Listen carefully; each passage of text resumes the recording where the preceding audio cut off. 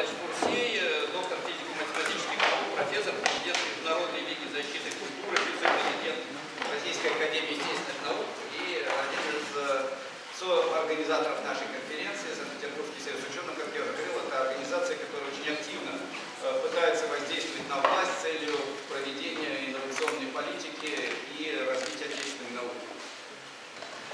Дорогие коллеги, со всем, что здесь говорилось, я согласен. Очень жаль, что нет Олега Николаевича Смолина, что он бы облегчил мою жизнь.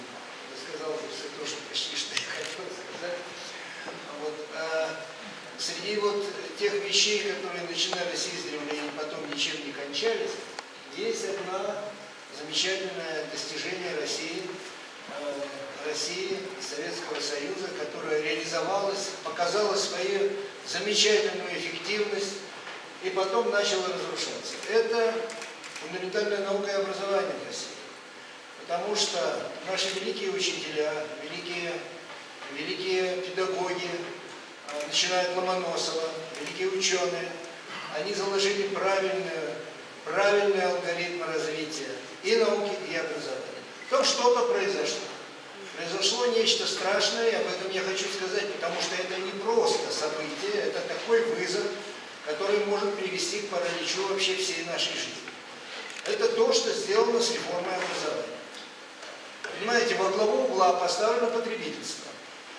И это страшно, потому что потребительство развращает молодой мозг, и потому что потребительство не дает возможность подняться на соответствующий уровень в духовной сфере. Совершенно.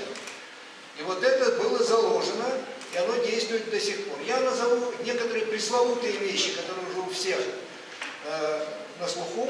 Это, это можно следующий, да, это так называемый пресловутый единый экзамен, государственный экзамен, подушное финансирование, которое введено в вузах и школах, беспредметность вместо предметного преподавания предметов и так далее.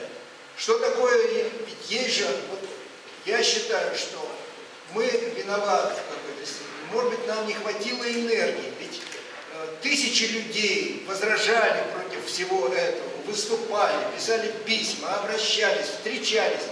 Значит, мы должны сосредоточиться на том, чтобы найти некий рычаг, некую возможность изменить эту ситуацию.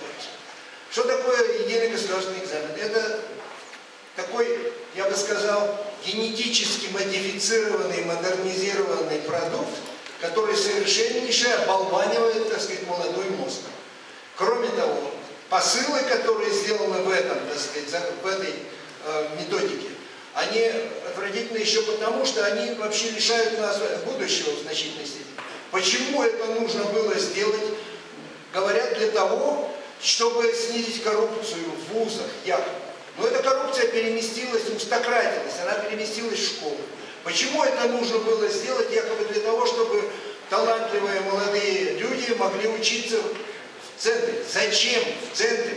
Нужно учить на местах, нужно создать условия для того, чтобы в каждом городе было нормальное образование. Сейчас дистанционное обучение возможно. Сейчас можно привлечь выдающихся ученых, которые будут беседовать онлайн со, с, со студентами, с учениками и так далее. Ну и так далее, и так далее. Вот это подушное финансирование, это, знаете, вроде минного поля, которое мы тащим с собой на протяжении вот уже нескольких лет и перетащим в будущее, и которое может взорваться целиком как поле. Я вам приведу один пример смешной, который вот только что произошел. Один из моих преподавателей, принимая экзамен по физике, к нему выходит студент и начинает говорить по физике. Начинает говорить о том, что такое плод, что такое планирование и так далее, и так далее. Он его спрашивает, а вы, какой у вас вопрос? Оказывается, закон Кулона. Закон Кулона. Он, значит, набрал, в своем мобильнике набрал клон и начинает отвечать на так вот это, вот, вот это балдеж, вот этот, простите, он же просто совершенно... И это, вообще говоря, тенденция оболванивания общая. То, что мы имеем сейчас студентов ведущих вузах, вузах наукоемких, это некий ужас, потому что они не изучают математики, толком не изучают физики совершенно, не изучают химии, они приходят и мы не в состоянии вообще как-то их вытащить из этой потенциальной ямы. Поэтому нужно сделать нечто срочное, необходимое для того, чтобы вот эту порочную тенденцию прекратить. У нас было первоклассное образование. Ведь сами организаторы вот этой системы, они прямым экспериментом доказали полную несостоятельность системы и свою полную профессиональную непригодность, если угодно. Я прошу прощения за такие слова. Потому что Россия была на одном из первых мест. Во время, когда был запущен спутник, вы знаете, что были разговоры на уровне, так сказать, высших лиц государств. Кеннеди, в частности, говорил о том, что анализ показал, что благодаря первоклассному образованию России это оказалось Мендерс в Париже на совещании НАТО говорил о том, какое у нас замечательное образование, какой колоссальный и подвиг совершила Россия благодаря образованию, благодаря фундаментальной науке. И сейчас это все стараются зачеркнуть. И непонятно как. Понимаете, всем ясно, что это порочно. Всем ясно, что если броневичок двигается в пропасть, то сколько бы вы не прихорашивали проводницы, не мазали маслом колеса, вы все равно там будете. И для того, чтобы туда не попасть, нужно перевести стрелки. И это нужно делать немедленно. Иначе мы придем в будущее вот с этим минным полем бездарных, необученных, тупых людей, которых мы сами создали. Говоря о подушном финансировании, это вот страшная вещь. Она, конечно, ее легко экономизировать, потому что сколько преподавателя приходится студентов. Но нельзя на это идти. Я кончал когда-то сельскую школу, у нас было 7 человек. И после этого я потом смог поступить в университет, потому что нас прекрасно выучили. Сейчас больные, обездоленные, в значительной степени демографи с демографической ситуацией связанные.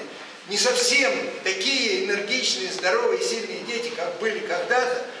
Тем более, о них нужно заботиться, их надо любить. И нужно, чтобы мы уделяли больше времени. Я сказал почти все, если можно, я покажу некоторые некоторые просто слайды очень быстро. Вот то, что говорил князь Трубецкой, это говорит о том, о чем говорим мы сейчас, непрерывно. Можно подняться. Никакие жертвы не страшны. Для того, чтобы сделать, так сказать, образование в нашей стране первоклассное. Это легко еще сделать. Следующий, пожалуйста, можно высветить. Вернадский. То же самое. Следующий, пожалуйста. Вот что говорил почетный президент нашей линии э, Борис Рушенбах. Уровень науки, в том числе фундаментальный, имеет прямое отношение к обороноспособности и престижу страны. Этот престиж нужно поднимать. Вот я счастлив, что сейчас в этом зале мы еще живы, и мы, так сказать, энергично возражаем против всего этого безобразия. Мы можем еще возражать, потому что если породистого скакуна не кормить, то он в конце концов превращается в клячу, а потом помирает. Значит, нужно найти возможности в государстве, чтобы восстановить нормальный, нормальный алгоритм образования. Что должно быть в образовании? Образование в первую очередь должно быть нравственным, для этого необходимо воспитание. Оно полностью исчезло из образования. Общедоступным, среднеобязательным, а высшая комплекс. Это тоже, так сказать, степени искажено. Бесплатно. Бесплатного ничего не бывает. Это так уж для, для простоты. Это образование за счет наших средств, за счет средств налогоплательщиков. Налогоплательщик кричит, я, мы хотим видеть образованных и нормальных людей. Значит, нужно поставить приоритет таким образом, чтобы это было одним из главных приоритетов. Это действительно один из главных приоритетов. Дальше, так сказать, оно должно быть базовым, то есть высокий уровень для всех. И оно должно быть фундаментальным. Потому что рост знаний, особенно в наше время, настолько фантастичен, что нельзя, так сказать, вот частные вопросы излагать, так сказать, надо их научить мыслить. Нужно дать им в руки удочку, чтобы они могли получать знания. И самые устойчивые, не меняющиеся, так сказать, вещи, это фундаментальное Следующий вопрос. Наука должна обеспечивать опережающее развитие. У нас сейчас еще есть масса, я когда-то губернаторском совете занимался анализом, что в Петербурге находится выше мирового уровня. Есть достижения на уровне почти внедрения, выше мирового уровня. Вот эти вещи и надо в первую очередь поддерживать, с тем, чтобы у нас появились, так сказать, фундамент, появилось, так сказать, производство, опережающее мировой уровень. Быть фундаментальным, служить обществу, это очевидно. Следующий, пожалуйста. Вот я хочу вам привести один график. Это делалось в 2000 году, в 1996. Вот о финансировании в долларах тысяч, так сказать, миллионов, миллиардов долларов. Миллионов долларов. 30, около 30 было в России, Россия была на втором месте в науке. Вот где она в 2000 году оказалась. Понимаете, между Турцией и Чили. А сейчас еще падает. Ну так же нельзя. Надо, значит, как-то изменить. Потому что иначе нет будущего. Мы не поймем вообще, в конце концов, если так будем себя вести, от чего помрем. Потому что так быстро меняется, так сказать, жизнь, и так быстро появляются различные вызовы, что необходимо обладать, так сказать, знаниями для того, чтобы этому противостоять. Пожалуйста, следующий. А научных школах. У нас были замечательные научные школы. Это был особый, особое качество. Это было коллективное творчество. Это были замечательные вещи, эти научные школы разрушены. У нас сейчас противопоставление молодых и старых, а нужно было бы объединить. Все, сейчас один счет его, я все Пожалуйста, следующий.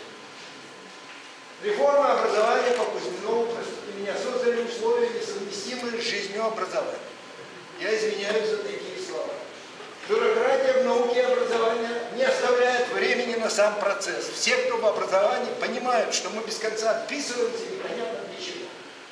Авторы реформ собственноручно и экспериментально доказали абсолютно разрушительный характер реформ, продемонстрировав полную преподнепригодность. Извиняюсь за резкие слова. Спасибо. Нет, за резкие слова извиняться не надо, просто регламент. Да, Все, спасибо. Да, спасибо вам огромное.